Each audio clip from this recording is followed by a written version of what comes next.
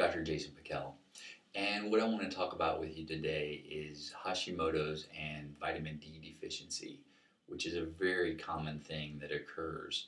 Now, I say vitamin D when actually vitamin D is a hormone, it's not even a vitamin.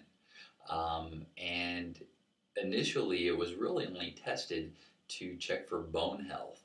In fact, the lab values that they still use today are used for those ranges when they were only checking for immune health, not for immune system health or T regulatory cell uh, problems.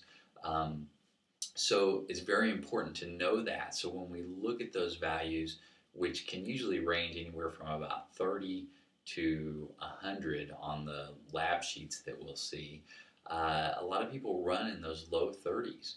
And we'll see a lot of them even way below that that have Hashimoto's disease, which is very common. Hashimoto's patients typically have a genetic predisposition. Their cells basically won't absorb vitamin D properly. They, the receptor sites on the cells aren't working.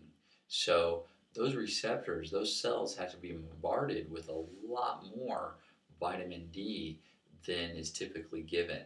Because again, um, you're having symptoms, uh, you go in and they run your labs, which I hear so often. The labs show normal or really close to normal. We don't really need to, to supplement.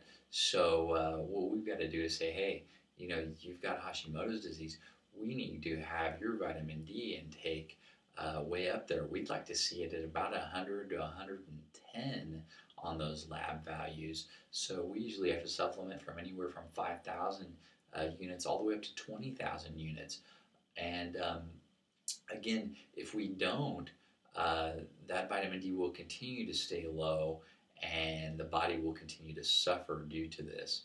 So, the other problem that I commonly see is doctors will give these higher levels of vitamin D, but which is the D25OH, the common one that you see checked on most everybody's lab test.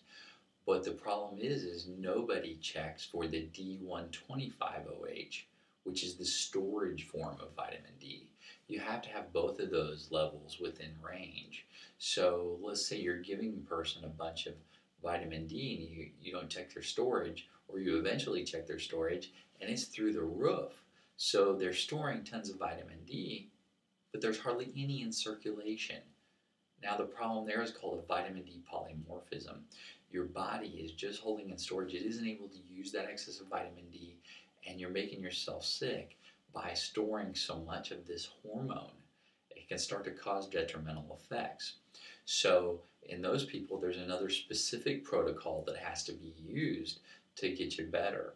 Otherwise, you're just going down that road to nowhere and you'll progressively worsen. And this is what I see so often that patients complain, you know, my lab values look normal. Why am I still having these thyroid symptoms that just continue to persist? Um, you need to find a doctor that's going to check these things and check them correctly and give you the proper supplementation that you need, especially when it comes to Hashimoto's disease or thyroid conditions. If you need more information, just contact us www.needthyroidanswers.com. Have a great day. Thanks.